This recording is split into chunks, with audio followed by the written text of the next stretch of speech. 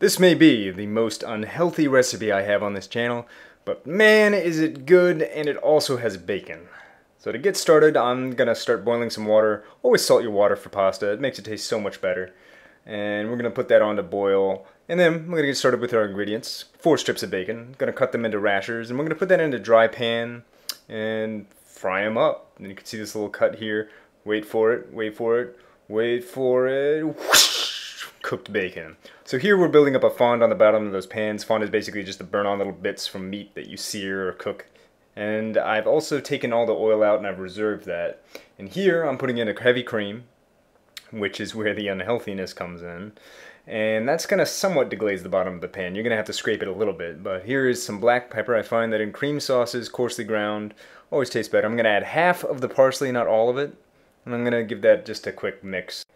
And here you see me kind of scraping the bottom to get all the little bits stuck on bacon to integrate themselves into the sauce and make it taste delicious. And uh, here I'm just going to drop in about half the bacon bits in. I'm going to put in my gorgonzola that's already crumbled. Remember surface area is going to make it melt much faster. And I'm going to give that a stir and make sure that that's all melted in.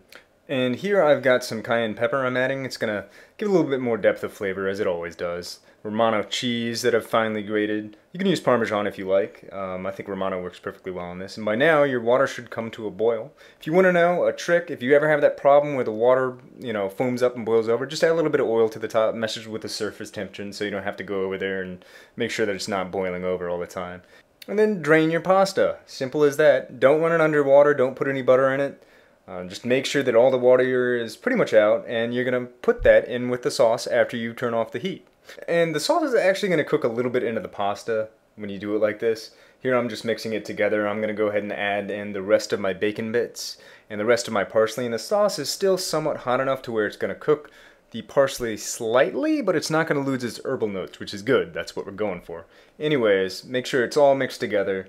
Cover it up with the dirtiest pot lid that you can find. I'm really sorry about this. Ugh.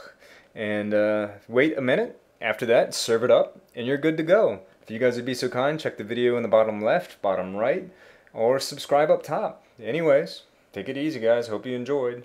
Peace! Still hurts. Still hurts to say that.